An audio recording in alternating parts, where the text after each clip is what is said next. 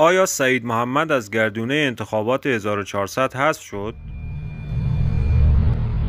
درود بر شما بینندگان گرامی.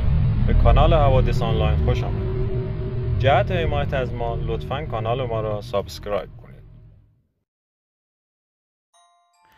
بعد از تایید اصلاحیه قانون انتخابات ریاست جمهوری از سوی شورای نگهبان کنار رفتن محمد جواد آذری جهرمی از گردونه رقابت ها قطعی شد.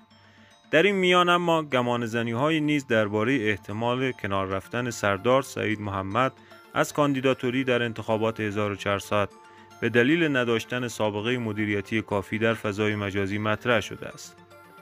محمد مهاجری فعال رسانه‌ای اصولگرا در همین زمینه به ابلاغیه جدید شورای نگهبان درباره انتخابات ریاست جمهوری واکنش نشان داد و در یادداشتی تلگرامی نوشت اعلام محدودیت سنی، مدرک تحصیلی و سوابق مدیریتی آن هم در دقیقه 90 از طرف شورای نگهبان یک بمب خبری بود که فضای سیاسی دیروز کشور را تحت تاثیر قرار داد.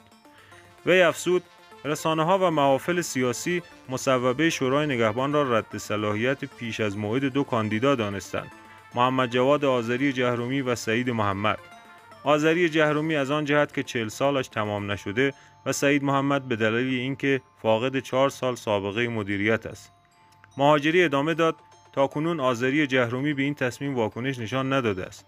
سعید محمد هم سکوت اختیار کرده است. اما محافل نزدیک به او می‌گویند خوشحالی برخی رسانه های اصولگرا مانند فارس و تصمیم که سعید محمد را رقیب نامزد مورد نظر خود می‌دانند دیری نخواهد پایید چون فرمانده پیشین قرارگاه خاتم به عرصه باز خواهد گشت.